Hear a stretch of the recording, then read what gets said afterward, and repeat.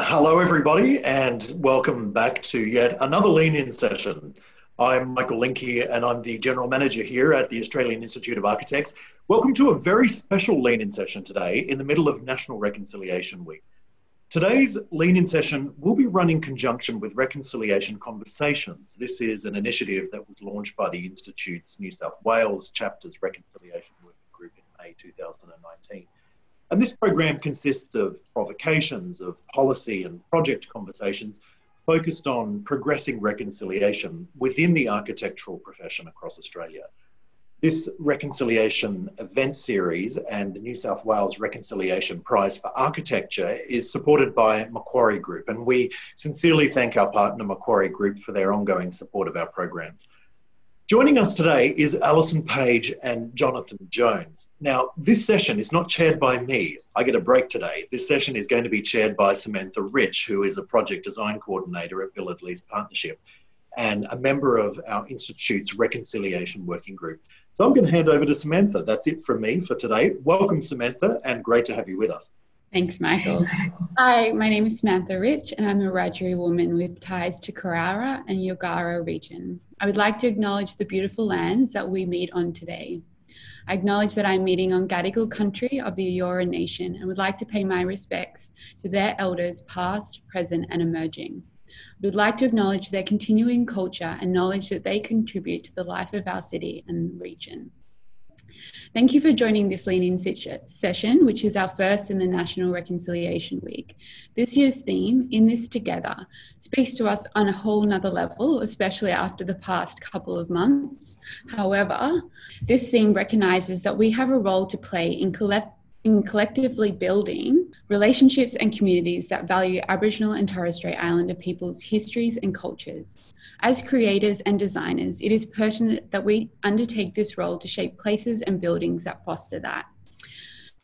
We have asked our speakers today to discuss their projects that have done this. And on that note, I am very excited to have the privilege of introducing these two amazing speakers, Jonathan Jones and Alison Page. Alison is a Wadi Wadi and Walbanga woman from the Yuin, Nation and is a film producer, designer, and artist who is motivated to tell Indigenous stories in multidisciplinary art forms. For over 20 years, her practice has spanned across architecture, interiors, sculpture, jewelry, and now film. Her creative practice explores links between cultural identity, art, and the built environment. As one of the three associates of Merrima Design from 1995 to 1999, she has worked with Aboriginal communities in the delivery of culturally appropriate architectural services. She founded her own interior design studio in 1999 and has since completed projects spanning interiors, public art, installations, and film. Jonathan Jones is a Wiradjuri and Kamilaroi artist, curator, and researcher. As an artist, he works across a range of mediums from printmaking, drawing, sculpture, film, to creating site specific art installations and interventions that engage Aboriginal practices, relationships, and knowledge. Jonathan's work advocates local knowledge systems and is grounded in research and builds on community aspirations. At the heart of his practice is the act of collaborating, and many projects have seen his work uh, with other artists and communities. Jonathan has exhibited both internationally and interna- uh, nationally and internationally, and his work has been collected by state, national, and international institutions. Jonathan will discuss his installation untitled Maraong Manaóuwi, located at recently refurbished Hyde Park Barracks Museum in Sydney. And Alison will elaborate on her sculpture piece, The Eyes of the Land and the Sea, which she created with artist Nik Lachajczak as part of Kamay 2020, a project commemorating 250 years since the encounter between Aboriginal Australians and the crew of HMB Endeavour. Both artists' work promotes understanding and reflection on the different perspectives that we have of history and the varying cultural connections to place. And over to Alison. Thank you. Um, I too would like to acknowledge, I mean, I'm here, welcome everyone to my bedroom. It's great. Um, I love that Jonathan's in your car. That's wicked. um, Uh, yeah, uh, so I'll just say Ginagay. I'm I'm here in Gumbaynggirr country, um, up in Coffs Harbour. I've sort of lived here um, pretty much over 20 years now, even though my traditional land is spans from South Sydney, La Perouse, um, all the way down to Yuin country. My grandfather's country is down towards Eden actually. And the project I'll talk to you today actually got me sort of working with those communities down that way, which is pretty cool. Um, yeah, Samantha, you gave a great background. I mean, you know, my history with the Institute's quite long, probably because of my involvement um, with the government architect under Chris Johnson, um, uh, working with Merrima, working with Dillon and Kevin, who I'm sure you all know. Um, but I think that um, was fantastic background in, in the sense that we sort of through we were always looking for that sort of convergence of storytelling in the built environment. And and then I, I, um, as my practice evolved over the last 20 years, I just got more and more into the storytelling aspect, um, which is why I, I pretty much work um, mostly in film. But the, but the project I want to talk about today is, um, uh, so for the last year, I've been getting right into uh, Captain Cook and Australia's true history. And I must say, it's been a really amazing um, journey in a way because, uh, well, it's been a voyage of, my, of discovery for myself because I think all Australians have been pretty ripped off in terms of what history they're taught at school. I think our country has lied to us by omission. Not, not I think, um, not I think maliciously or anything. I just think it's just by omission because there's been a massive part of our history that's been missing, and that's that's pretty much the view from the shore. We we we understand the view from the ship. We understand. Um, we sort of do and we sort of don't. I mean, a lot of people get 1788 and 1770 mixed up. I think the fact that um, our Prime Minister announced that they were circumnavigating Australia with the endeavour he announced that on the 26th of January, which is when the first fleet rolled into um, Sydney Harbour.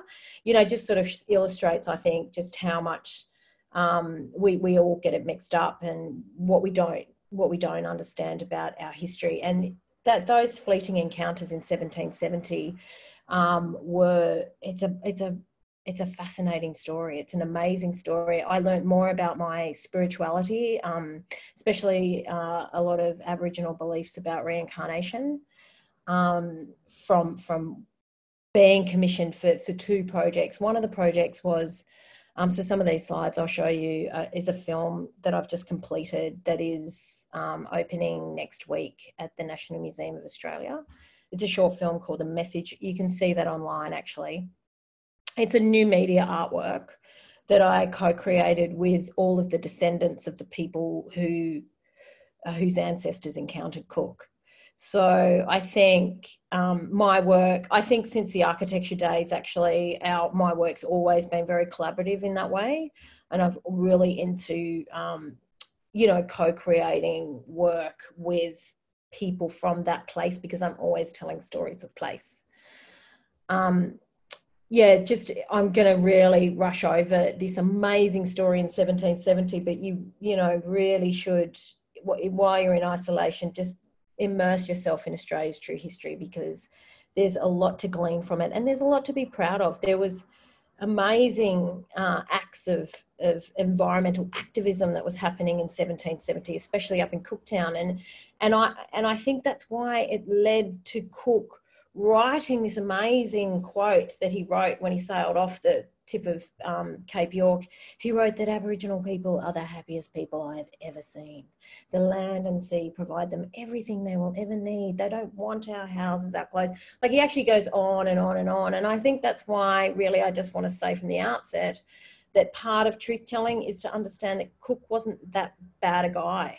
You know, like he was a bit trigger happy with the gun and everything but ultimately he was and a lot of the communities that do understand his story and he encountered they appreciate the fact that he was a working class man he had six kids you know that he actually understood in 1770 this is a man from george in england um, he understood a lot about Aboriginal cultural values. Um, sort of this, sort he sort of understood then what the country is really only um, dawning on now. But the message, it's a very simple concept about um, a ship that is seen on the south coast of New South Wales. He, you know, he, he when he, where he first sees land, and a warning is sent by smoke, by message stick, by all of our sophisticated um, communications, all the way up the coast. When he, when, when he gets to to Kamay, um, he encounters two warriors who are there waiting for him. They they're wearing ceremonial dress. They've been painted in this um, particular white ochre um, uh, patination, which represents the whale bones, because they believe that they are encountering the reincarnation of their ancestral totem, the whale, that died and its spirit went over the ocean and then came back with white skin. It comes back in a canoe.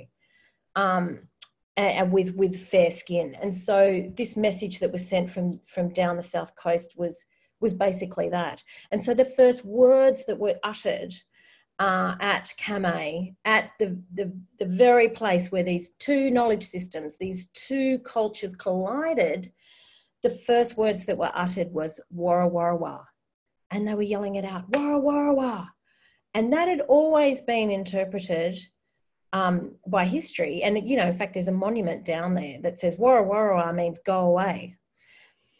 Um, but when you, you know, I've been working very closely with the Gujaga Foundation, um, the Ingrey brothers at La Perouse, um, around uh, around what is the truth of, of this word. And the true definition of Warra in the Dharawal language is these people are dead. So these warriors were saying, not not to Cook and his men, they were saying to the mob who were hanging behind the grassy knoll, they were saying, these people are dead. These are your, these, this is the reincarnation of your, your dead ancestors. And look, it could explain why not one Aboriginal person all the way up the coast took one thing off Captain Cook or his men, even though, you know, his orders, he, he had to make friends, you know. And it's interesting for the eight days that he was at Kamay, um, you know, he they were ghosted. They were literally ghosted by my people because they just thought that they were the spirit people. And so, you know, I think it would have been a reasonably confusing eight days for Cook and Banks and and his men because they sort of went, oh, I don't know, what was that about? Because they just really didn't have that much interaction. And so this notion that, oh, maybe there could have been this true meeting of the minds, you know, two knowledge systems talking to one another. I mean, it would have been like an alien, like two alien um, uh, two aliens coming together and expecting them to get along. It's it, they're just coming from completely different worlds. But it's interesting, you know. Now we're, you know, we we sort of as a nation we're sort of standing on the beach now with Captain Cook, and we do have this opportunity to have this amazing dialogue. But you know, all the way up the coast. Um, all the way, you know, there's amazing story in Cooktown. You got to get into this story. I'm telling you, it's incredible. You know, they they protested that Cook. Um, uh, they, they, they, they were all getting along with our friends because Cook broke down in, in Cooktown. He was there for 48 days. I mean, they really thought they were going to die. Um, but they caught 12 female turtles during breeding season and the Guugu Yimithirr people, they cracked the shits and they just lit a big fire around them. And, you know, there was this environmental protest going on in 1770, which I think is something that as a nation, we should be proud of. This is our, the origin story of our modern nation. And it's something that is just so cool that, you know, I mean, they, year three students will now be learning that, that, that true history, the view from the ship and the view from the shore. And I look, I'm just leading now into, um, I'm probably running out of time, Samantha, but I'll just tell you about the commission that I was doing at the same time as making this film with all of these amazing communities, you know, from the south coast of New South Wales all the way up to Bamaga. I won a commission to do a sculpture, which was pretty cool for me, like going back to the built environment because I hadn't done, I've been pretty much exclusively filmmaking for five or six years, and to get back into doing, uh, you know, to, to, to working, um, you know, with architects again was and, and engineers again was great.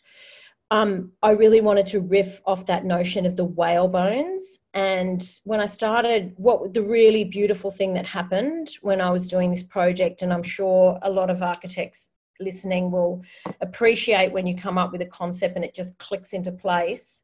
Um, I really wanted to represent the whale bones um, because I, I like the idea that it was like the x ray of this ship as well, like that it was um, a ghost ship um, because these people were ghosts, right?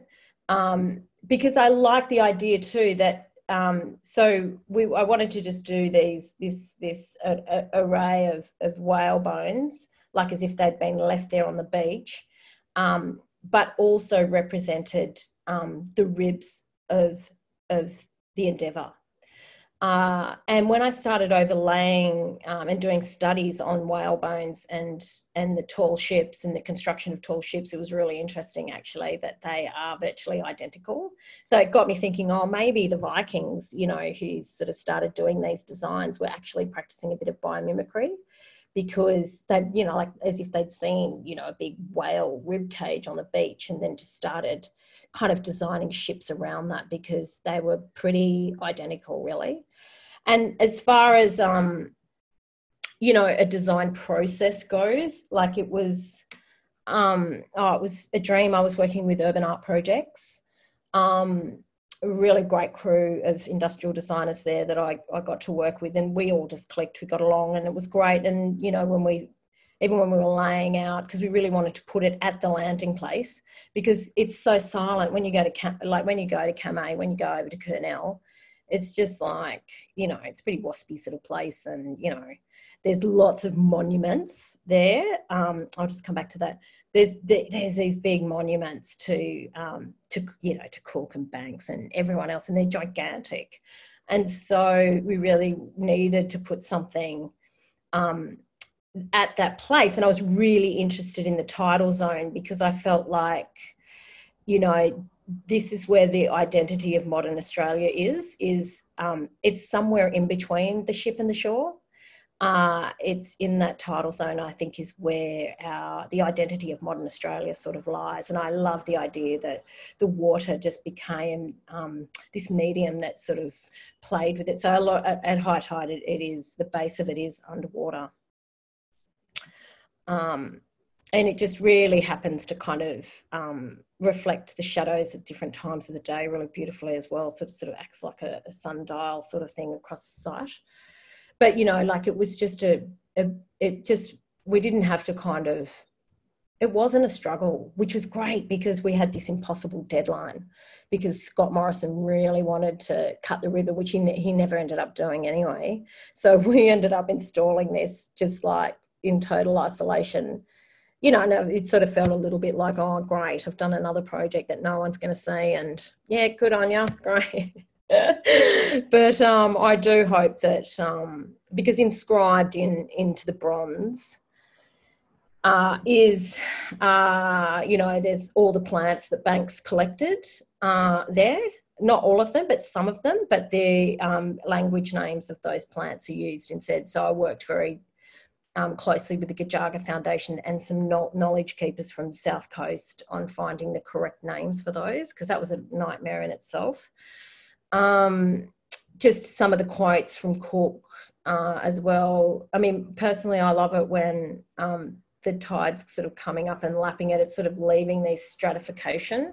It, so the ocean is leaving its mark like on the bronze already, which is really nice. It's only been for a month. Um, but a lot of the quotes from Cook, and of course that beautiful quote about Aboriginal people being the happiest people on earth, is is the centerpiece of, of the main rib, really.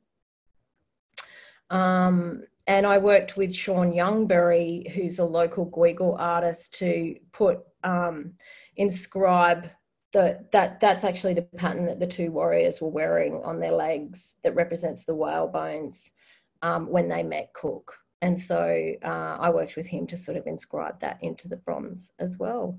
But um, that's me. Uh, thanks, everyone. um, I hope you get down there to have a look at it. So yeah, um, obviously first I'd like to acknowledge um, I'm actually away from home at the moment. I'm down um, on the outskirts of Melbourne, um, working on a project at a quarry. So sorry for being in my car.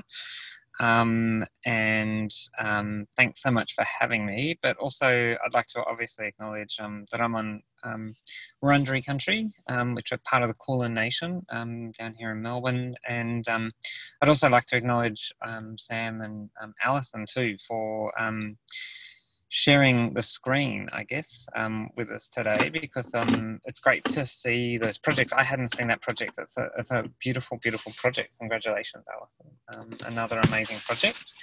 Um, yeah, I'm really lucky I get to talk about a project that I too recently completed. Um, it's this project here that was at Sydney Hyde Park Barracks, um, which is probably a site very familiar with so many of you. It's such a significant building within Sydney's landscape um, and, and that colonial landscape. And yeah, it presented a, a number of, you know, just a, it presented an opportunity for us to sort of really think about um, Aboriginal history and and heritage. And and some of you would probably be aware too that you know um, this earlier this year the the um, Hyde Park Barracks relaunched itself um, part of its sort of um, upgraded listings with UNESCO um, and had a whole refurbishment. So, really significant kind of moment for Sydney Living Museums. Um, and they spent a, a, lot of money on refurbishing the building, thinking about the exhibitions, thinking about the messaging that they were they were sort of undertaking, which um, sort of really briefly, you know, the things that I really responded to obviously were um, there was a lot of work sort of done on the building and heritage work, but then the other sort of significant component of their their refurbishment was the development of a um, like a self-guided uh, tour. So people, when they come in, they put um, headphones on and look at a little screen and walk around the building. And without that, you can't really engage with the with the exhibition. So that that notion of that digitization, like that very high, like you know, one side of the coin in terms of heritage, and then flipping over to this other, you know, trying to preserve and almost put like a bubble around this building, were the two real things I was responding to. Um, so when I was approached um, to look at the building, and that's not a that's not me in the foreground. Um, to look at the building, we came and um, I, I, guess this.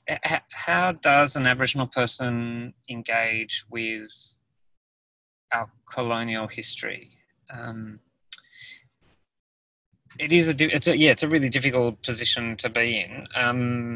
And it's one that I think is probably you know one that we really all need to bite into. Um, like Alison was saying, you know th- those stories are there for us all to um, really sort of engage and pull apart and think about. Um, you know the lens that we've that we've that we've often approached them with. Um, but th- this building um, for me, obviously represents an enormous shift in how we understood ourselves. Some of you might not know, but um, the, the clock, just for one example, you know, the clock in that building there is the first clock in Australia. So for over 60,000 years, Aboriginal people have been measuring time, measuring, um, you know, the world in a completely different way. And what happens when this building gets erected and this clock gets um, sort of put in such a public place and uh, and and so t- time is almost introduced you know western time is introduced to this country through this building. Um, I mean, obviously, the other issues for this building is that it was part of Lachlan Macquarie's, you know, reform process where he was trying to get um, convicts to engage in work a, a lot more so these barracks were really sort of house those convicts so he could kind of get more work out of them. Um, and through that process, you know, this building then becomes a sort of epicenter, if you like, for a lot of the other sort of capital building works through Macquarie's vision um, for Sydney. Um, and and probably the most significant in relation to you know for, for me and my family was the um, the crossing of the mountains. Um, so those um, one of Lachlan Macquarie's sort of other sort of big sort of colonial projects was obviously forging a road following a, a path through the mountains down into um, down into um, what's known sort of today as Bathurst um, and the, the, the plains down there.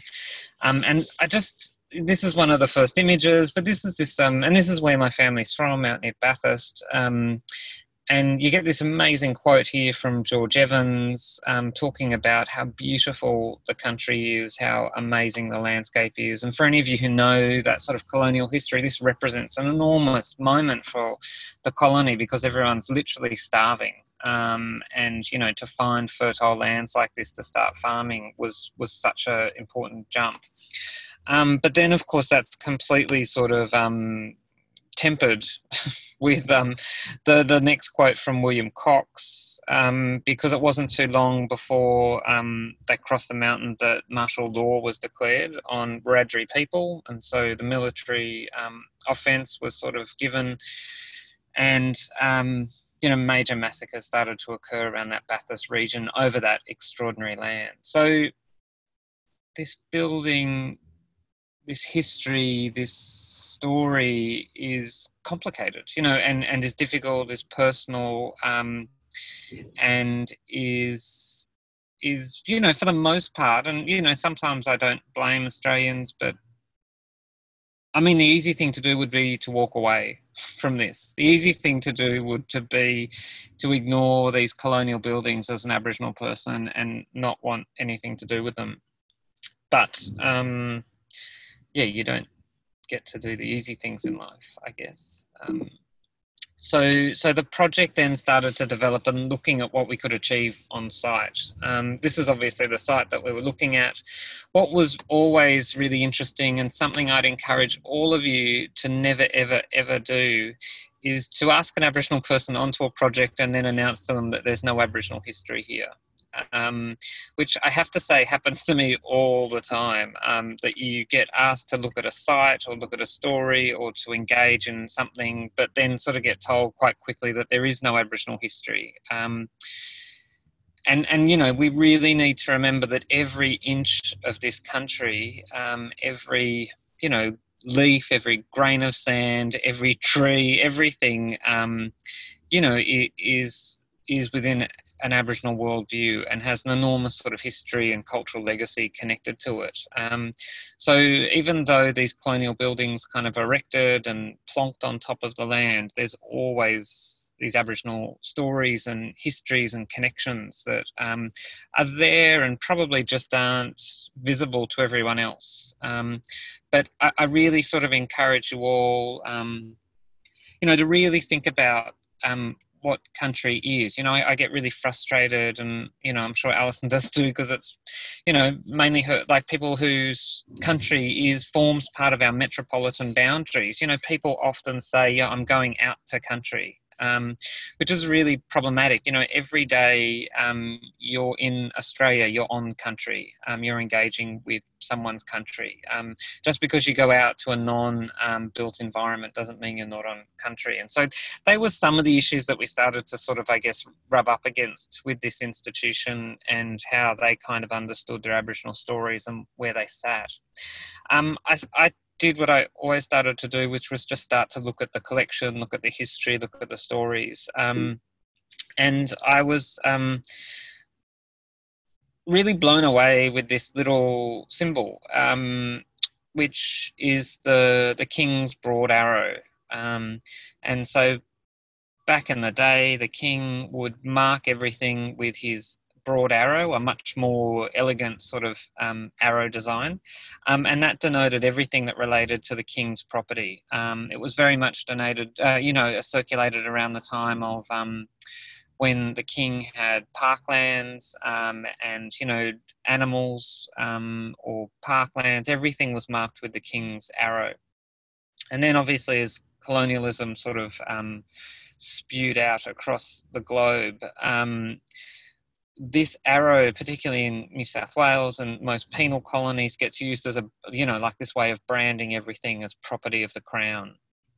Um, and you see it here on everything from bricks to, you know, um, to, to, to clothing to, um, you know, all the tools, everything um, that's owned by the crown is marked with this little arrow. But I didn't see the arrow at first. Um, and and when they were sort of showing me through the collection, I sort of politely nodded when they kept talking about this arrow, which I didn't see. Um, I kept seeing this little emu footprint. Um, I kept seeing this little um, foot um, across everything, which and I'd sort of registered it. I mean, around the traps, I'd often seen, you know, on markers, on obelisks, on things around Sydney, you often see this little thing. And I guess I hadn't really um, picked up on the dialogue. But but for me, I immediately started to see a different story here. Um, and of course, emus um, within Aboriginal culture are extraordinarily important. Um, some of you might not know, but emus for, um, especially from where where I'm from, and you know that New South Wales. I know we really talk about. Um, we, we use that idea of the emu as a really significant male role model because um, the emu, once the mum's laid those eggs, um, she goes, and because um, she puts so much effort into laying those eggs, and the male emu comes in and he just takes over everything. Um, so he sits on the eggs, he incubates them, he help, ha- helps hatch them, um, and then as they're little fledglings, he looks after them as little chicks until they're ready to look after themselves. Um, and so in Aboriginal communities, when we think about emus, they're often seen as really significant role models for Aboriginal men and what it is to be a good man in our community the, and the kind of qualities that we expect from men. Um, so, a really um, significant shift. So, I started to become really amused or kind of interested in the fact that we have this one symbol that two communities can see two different things in, but not only see two different things in, but also stood for two different stories. You know, we have this one being the convict story, which, you know, is about um, punishment, it's about violence, it's about extraordinary hardships. Um, that people were faced with as as as part of that convict enterprise, um, and that idea that um, everything is sort of directed at um, the, the, king, um, so this sort of monarchy, um, and you flip that over, and the same image for another group of people can be talking about fatherhood and just being a really good dad and looking after your kids um, and that being one of the most significant things um, in your life you know that you can be. So we had these sort of two paradigms um, sort of meeting at this one symbol um, this one sort of connection if you like of this broad arrow or the emu footprint. Um, and of course, you know, I, I, was really interested in that notion of how we track time, um, and emu, of course, also plays a really significant um, role within the emu in the sky. Um, some of you might not know, but that sort of um, the coal sack or the, that dark matter up in the sky is, is, is mapped out as an emu.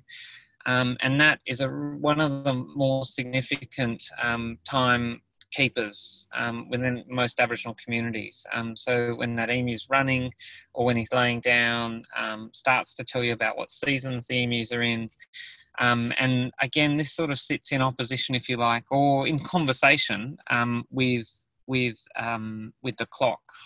And I guess what I started to get interested in, which most of my work is interested in, is these intersections. You know, I come from a mixed family. Um, I'm really interested in how um, in how Aboriginal people often have kind of um, worked within systems, have pushed against systems, created new systems, pulled old ideas into new spaces, and it's in those moments of um, engagement. It's in those moments of connection. It's in those moments of communication that i think like what alison was saying before we have the most to learn as australians. Um, it's within those moments of sharing um, things that we probably have the most to benefit. And and you know i i would dare say historically you know those difference of differences have been used almost like crowbars to pull us apart um, and to pull Aboriginal history away from you know mainstream Australian history. But I would argue that we should be using those stories as um,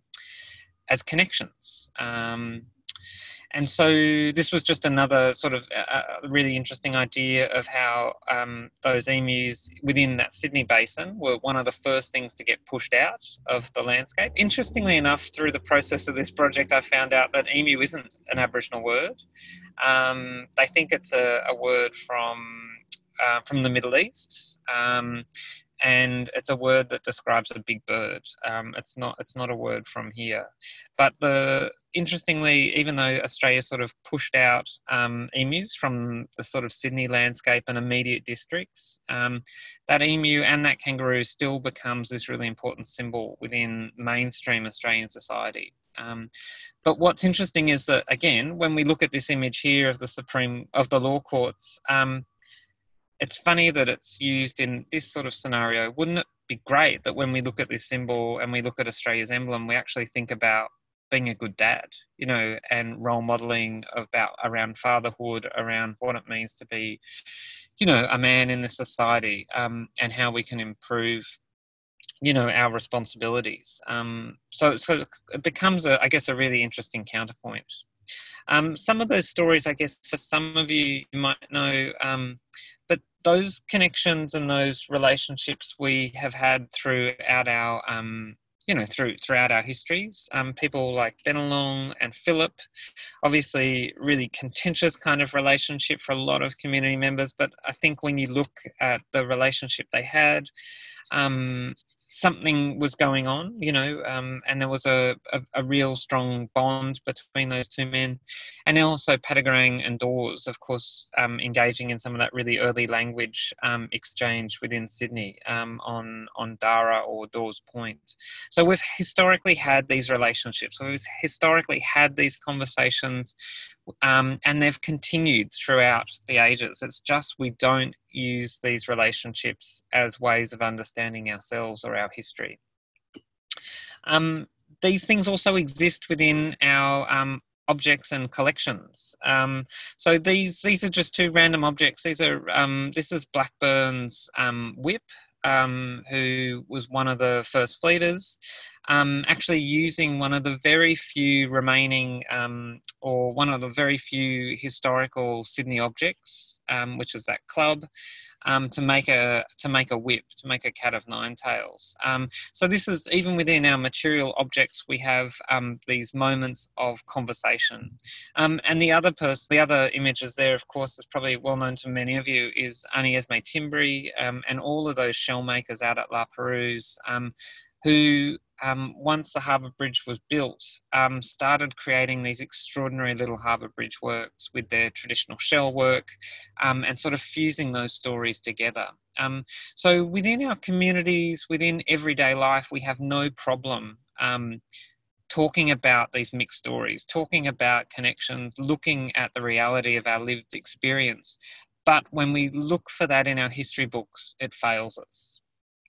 Um, and so when we came to make this work, um, it was really that conversation piece around that little arrow, that broad arrow, the emu footprint, um, that became the ability to sort of see this building in a different way. And I really wanted to sort of create almost like a carpet um, for this work to sit on um, for this building to sit on. And so we created this work, which was um, simply using um, two types of gravel.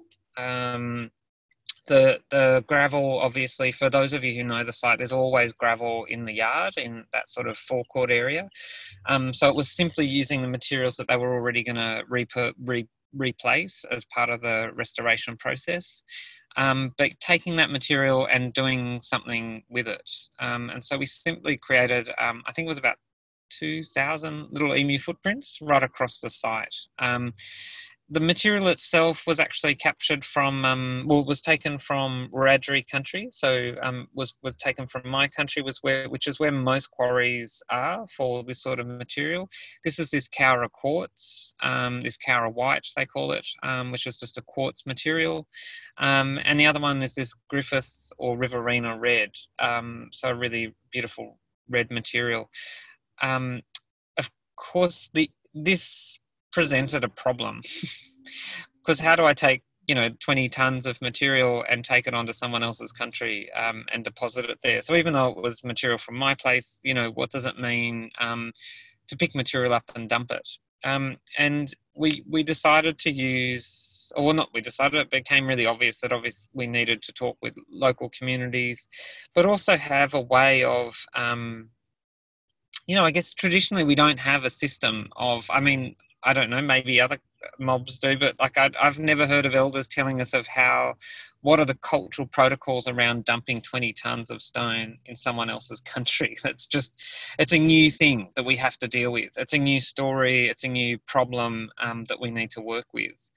Um, oh damn sorry i've jumped I might come back to that idea, but this um this image here just shows you how to um how we ended up creating the work. So we just moved in teams, going through the space. We had these little stencils, um, and we laid that sort of 20 tons of materials throughout the space. Um, finally, sort of enveloping the entire space in this in this really, um, I mean, it kind of was one of those. It's one of those strange works that um, the Photoshop image that I created at the start actually ended up looking like the final product. Um, but the, what we obviously were really keen on doing was thinking about how that site, um, what, what, what does it mean to create a, an artwork and how could it be permanent or temporary or how did it live and exist on the site? Um, and really central to the process of creating this work was this idea that for me was the work would be dissolved um, and get destroyed and get, um, I guess, mushed up into the site as people engaged with it.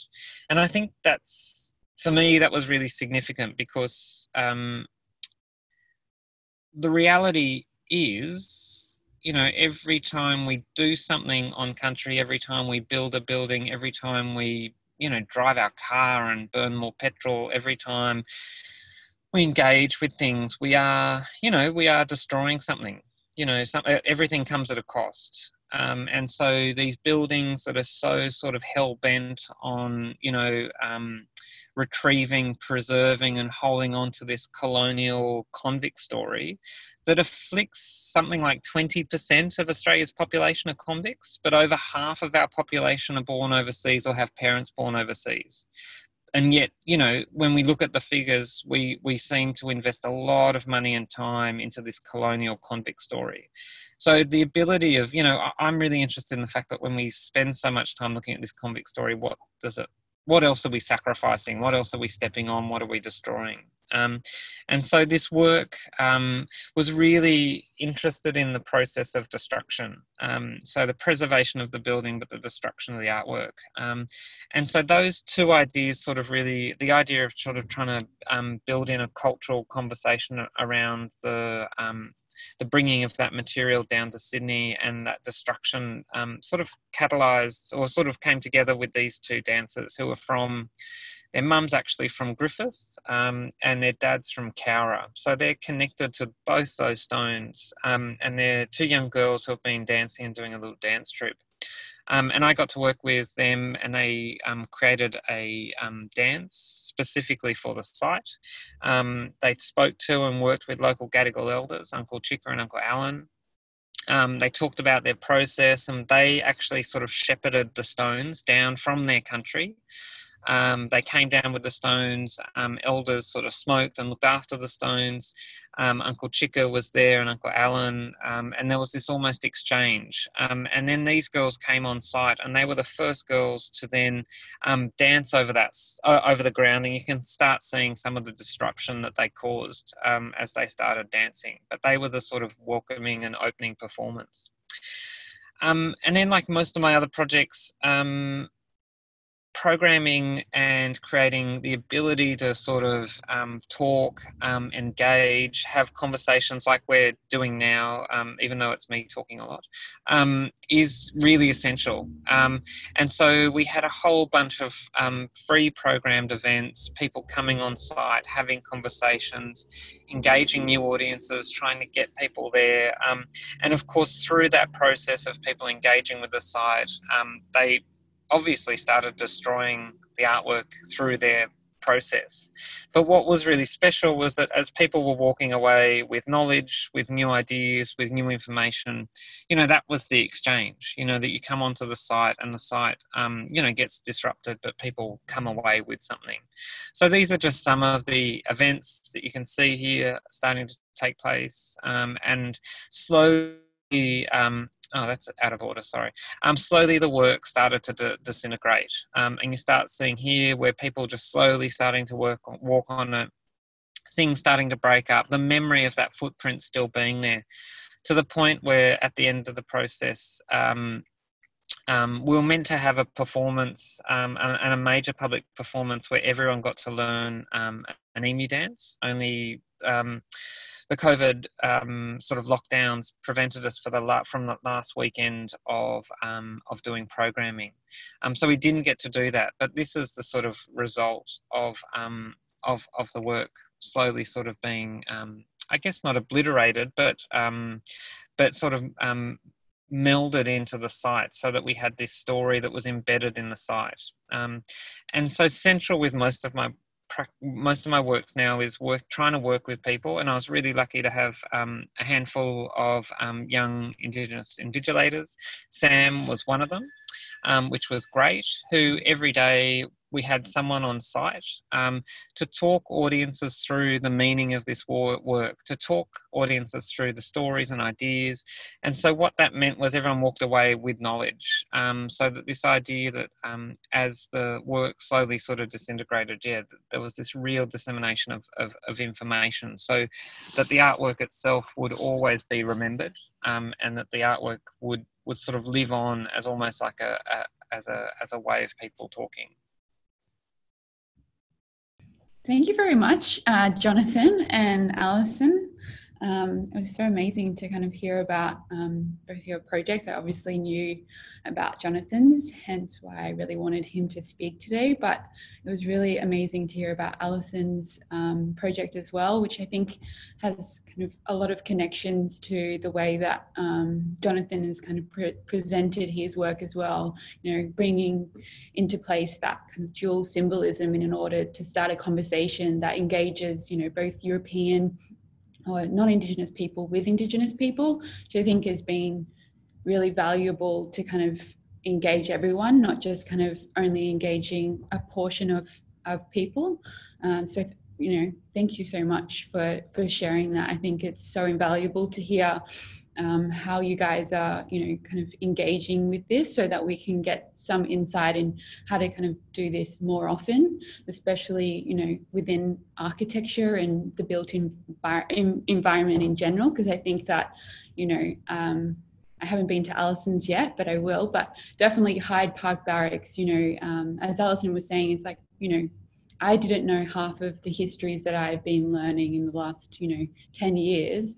And now I completely um, engage with Hyde Park Barracks and around that area completely differently. And I feel different and, and I can bring like other knowledge into that space. And I think that, you know, the more that we do that in this realm, in the architecture profession, the more that we can start building those conversations and start kind of bringing in things like, you know artworks or buildings that connect more with um, you know this this broader history and you know the longest surviving culture um, that we have here in this country engaging more with it we will actually kind of create richer spaces. Um, so yeah thank you so much alison and, and jonathan. If you have anything to say um, please please speak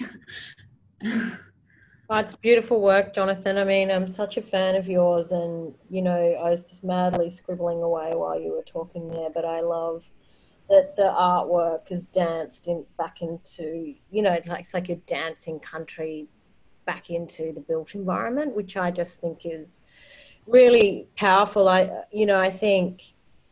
I think that convergence of our culture and the built environment is really interesting because you, like we have on one hand this imperative to repair songlines. So songlines are these amazing, this amazing web of knowledge that's overlaid over the land. So and and um, three-dimensional spaces become these these places of learning. So when you go past that tree or that rock or that river, you, are supposed to remember all this, this traditional knowledge, and that's how we actually learn. That's how we were able to pass on vast amounts of ecological data without the written word. And so, so then it, it it's an obvious extension to that. That if you have um, the built environment, then and and something grown has been destroyed, um, that, that was a site of learning, then you must replace that. You know, you must repair those song lines with the built environment. So that's an interesting, I think. Um, I, I just really think that that's what that work, Jonathan, is really kind of bringing back to the fore. And then also what it does um, is which I think is really interesting. And so, so we've got this deep history, this traditional knowledge, but then this contemporary history, which some of it's really painful, um, but I really think the country is ready to start talking about massacres. It's ready to start talking about this uncomfortable history because it's not our fault. You know, it's England's fault. it's totally England's fault. You know, and the way that convicts were treated was was was appalling. And you know, we should address that. We should we, we should be. You know, I mean, you can read Richard Flanagan novels and just you know, and weep. You know, but. Um, but to me, I'm very interested in, and some of the work that um, landscape architects in the US are doing, like Walter Hood. He was over here um, last year speaking about truth telling and and the built environment, and I think that they're really exciting sort of narratives to be to be working with because, as Jonathan says, it's where those stories intersect that that gives you both the counterpoint, which is fantastic for any creative, but also it's a, a springboard from which to build new narratives. Yeah, no, definitely. And I think too, I mean, that's just the reality of our situation. I mean, it was really interesting. So many Aboriginal people are descendant of convicts. Um, so how do they make sense of that site?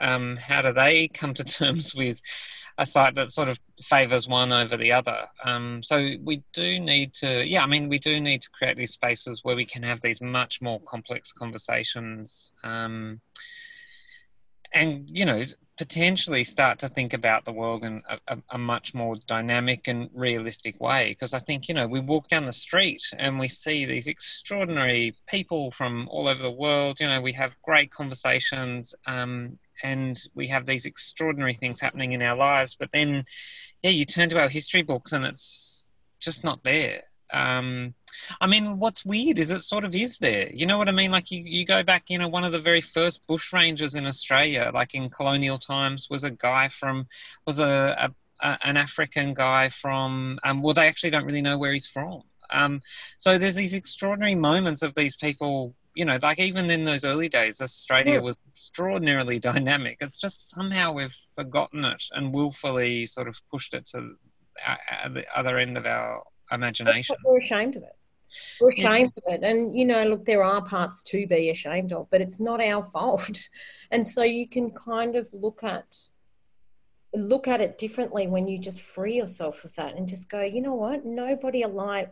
You know, when Cook got his orders right, you read Cook's orders, and it's actually it's it's got in there um, that to look for mining resources and stuff mm. like that. And so when I look at all those FIFO workers in their busy vests and stuff, and I just think, you know, that that that identity was drawn out for us before Cook even landed here. Mm. You know, and so the Australian identity, I think we've just, you know, what you were saying before about, you know, where these two stories connect, you know, I think the real, I mean, obviously, I, I don't want to go back to traditional times. I, I, I, think we have the opportunity to take the best of both worlds. You know, I really liked your story about the clock, Jonathan, because to me, you know, I think the most obvious example of that is where we can take traditional ecological knowledge and bring it together with the best of Western science. And I think that there's whole there's a whole new journey of discovery to go on in terms of, and I think it's an interesting question for architects and engineers and designers, um, you know, as well as every other industry, to start thinking about the Australian value system, or, or for us to start designing new systems that take the best of both worlds. I think. Well, and I think that's a thing that often, and that was, you know, um, you know, often when I'm talking to people like, you know, um, architects, uh, the thing that I'm interested in is when a building works, it's often because it's sitting on top of Aboriginal history that it responds to. Mm. Um, and you look at the Opera House, you look at these things where um, when when things work and things function, it's it's because it's having a conversation with its past um, and encapsulating a new future, and by and large, that's only happened in Australia by fluke. It's just so happened that someone was like, "Well, yeah, let's put it here," um, and you know, and that's what's scary. That like we've got Aboriginal people, and you know, I've said this time and time again all through our history books. You can go through there at every moment there in Australia's history. There's been an Aboriginal person saying, if you want to know something, just ask. I'm here. I can tell you the story of this place. I can guide you to wherever you need to go. Just let me know what you need. And that's that hasn't gone away. So if we want to make good buildings, if we want to make better cities, if we want to, you know, move forward and not fluke it like we do, um, have conversations with Aboriginal communities. Invite people in who are wanting to come into those conversations with you. Mm. Hallelujah. Hallelujah. I think that's a perfect note to end the session on.